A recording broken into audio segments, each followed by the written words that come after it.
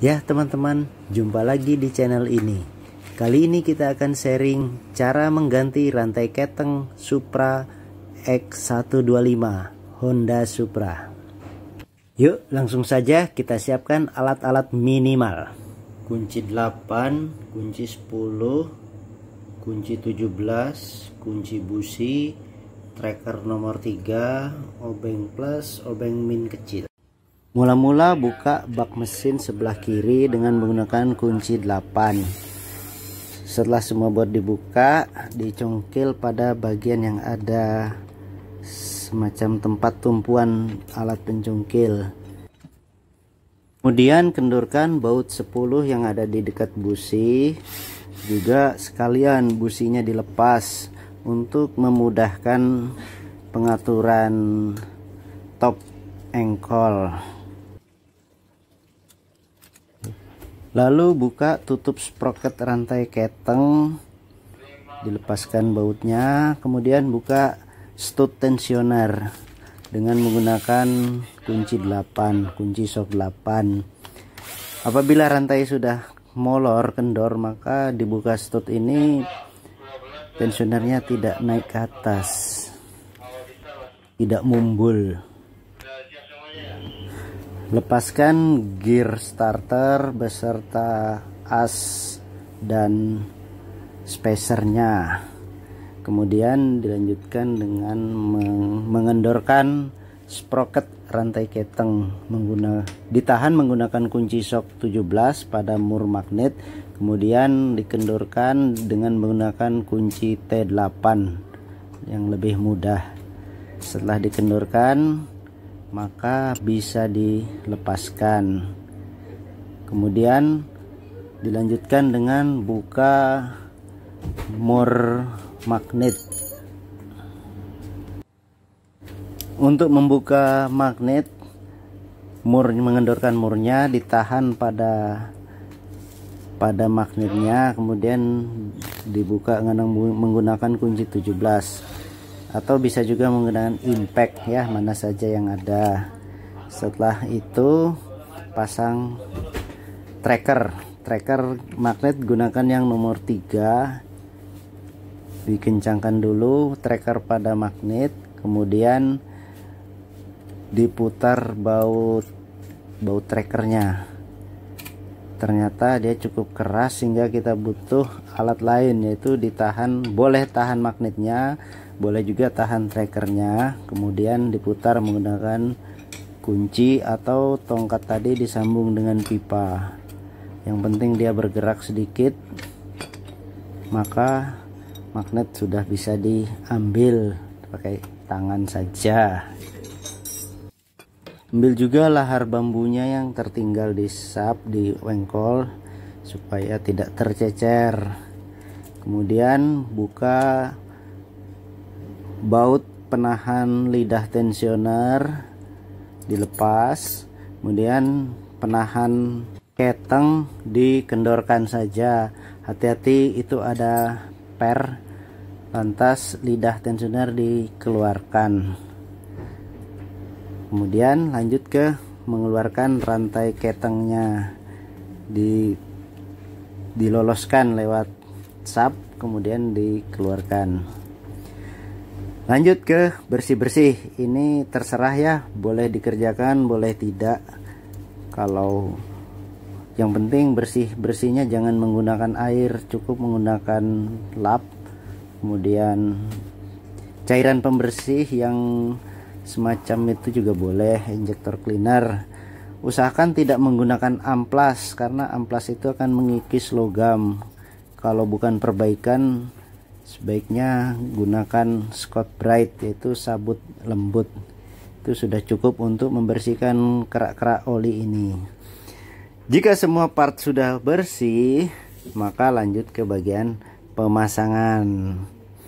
Karena rantai keteng itu fungsinya adalah sebenarnya adalah timing yang mengatur waktu buka tutupnya klep maka pemasangannya harus benar, tidak boleh selisih satu mata pun.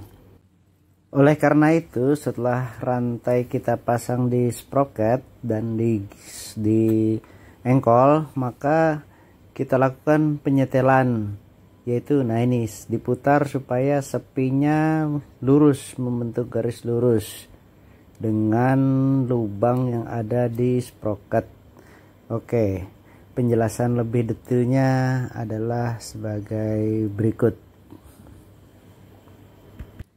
Oke ya teman-teman karena ini penting dan tidak boleh salah kalau salah pasang timing gear timing chain maka motornya mungkin berbet atau bahkan tidak bisa nyala sama sekali.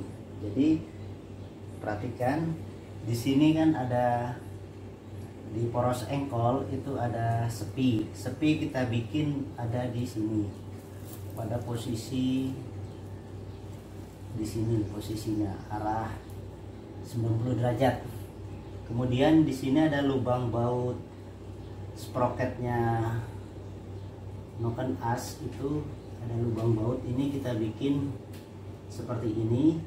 Dan di sini ada coakan sedikit kecil itu juga diluruskan sama ini ada tanda titik ini kalau ditarik garis maka dia akan membentuk satu garis lurus apabila seperti ini maka pemaksaannya sudah benar. Sekarang kita periksa pemasangan kita. Ini sepi yang dimaksud ada di poros engkol, ditarik garis lurus, dia satu garis dengan tiga lubang ini, titik pada gear dan coakan pada kepala silinder. Oke, berarti benar. Lanjut. Berikutnya adalah pemasangan lidah tensioner kemudian setelah dipasang ditahan dengan menggunakan baut dan bracketnya lanjut ke bracket penahan rantai keteng itu hati-hati ada pernya jangan sampai jatuh. Setelah itu pasang stud tensioner packingnya dulu kemudian stutnya setelah diperiksa ternyata masih bagus sehingga kita pasang lagi. Stud tensioner itu saat dipasang harus posisi pendek begini supaya mudah. Kalau kita rilis dia akan mumbul nah saat dipasang supaya mudahnya adalah seperti ini. Oke. Jangan lupa setelah dipasang nanti kita rilis supaya dia mumbul uh, menekan si itu si rantai ketengnya. Nah ini dirilis. Oke dicek. Rantainya sudah kenceng. Kita tutup setelah itu bautnya ditorsi sebelum dipasang magnet. Oleskan oli supaya poros engkolnya basah sehingga magnetnya dipasang dengan mulus. Di magnet ter terpasang flywheel yaitu gear freewheel yaitu gear untuk starter. Pasang ring pasang mur kemudian dikencangkan ditorsi. Torsinya sesuai dengan yang ada di manual Honda. Kita pasang penahan di freewheel supaya tidak berputar.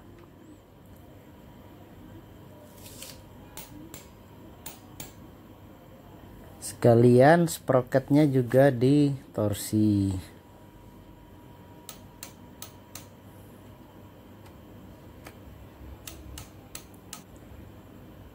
Oke dilepaskan penahannya kemudian pasang gear penghubung starter lengkap dengan shaft dan spacernya. Kemudian dicek putarannya sudah benar. Oke sekarang kita tutup. Jika malas mengganti packingnya maka kita gunakan ini trebon atau biasa disebut liquid gasket ya kita oleskan secara merata tipis saja yang penting tidak bocor setelah dipasang Oh ya, perhatikan baut yang pendek dan panjang ada di mana, jangan tertukar. Kemudian setelah semua baut terpasang dikencangkan dan ditorsi secara menyilang.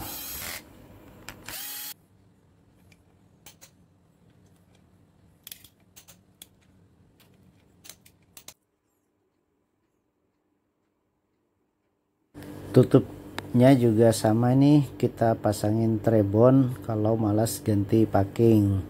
Kemudian bautnya dikencangkan. Oh ya sekalian businya juga di set kekencangannya eh kerenggangannya yaitu pada 0,9 kemudian diolesi oli pada ulirnya kemudian dikencangkan dan ditorsi Oke, selesai. Terima kasih sudah menonton.